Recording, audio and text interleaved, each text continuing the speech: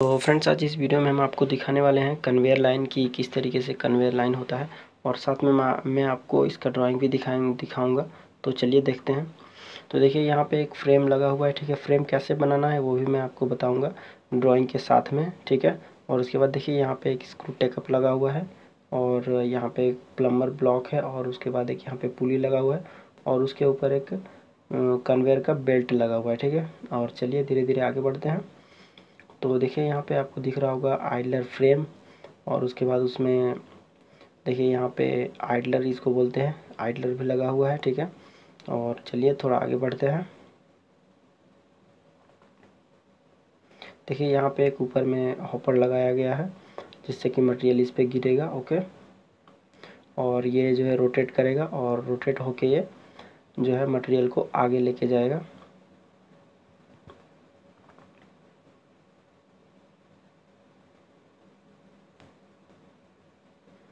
ठीक है, इसका पूरा जो है ड्राइंग अगर आपको देखना है तो आप हमारे ऐप ट्विटर की पूरी जानकारी को इंस्टॉल कर सकते हैं। उसमें मैं सभी ड्राइंग जो है अपडेट कर दूँगा।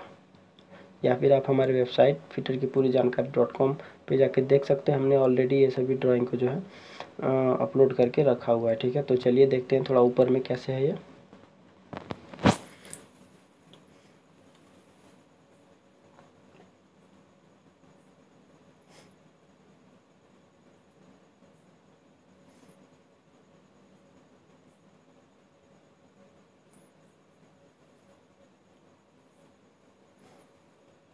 तो ऊपर में भी देखिए सेम वही यहाँ पे एक फ्रेम लगा हुआ है और उसमें पुल्ली लगा हुआ है और यहाँ पे एक जो है